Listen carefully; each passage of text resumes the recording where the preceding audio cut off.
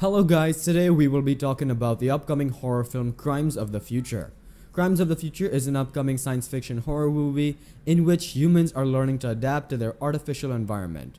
When it comes to making thought-provoking science fiction films, some filmmakers like David Cronenberg are acclaimed. And the good thing is that the horror movie is written and directed by David Cronenberg. His upcoming film, Crimes of the Future, is set to deal with concepts such as transhumanism, politics, and more. Let's move on to casting. Who will appear in Crimes of the Future? Fans who have enjoyed David Cronenberg's other films will be surprised once again. Viggo Mortensen will be seen in the lead in Crimes of the Future along with his French actress Léa Seydoux, and Twilight star Kristen Stewart has also joined the film.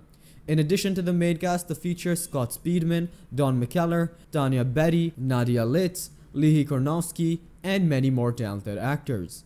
When's the release date for Crimes of the Future? The filming was started in Athens, Greece in August 2021 but ended in September 2021. If we talk about the release date, it's actually not given yet, but we can expect in 2022 that we get to see the release of the movie. However, until Cronenberg or Neon emit any information, the release date of Crimes of the Future is in the air. In the film, Viggo Mortensen, who plays the role of Saul Tenser, is an outstanding artist who has adopted accelerated evolution syndrome. New and unexpected organs have sprouted in his body. Together with his partner Caprice, Tenser has created a scene to remove these organs to surprise his loyal followers in the real-time theater. But with both the government and strange subculture taking notice, Tenser is forced to consider what his most shocking performance would be. Hope you guys liked the video, stay tuned and get more updates, thanks for watching.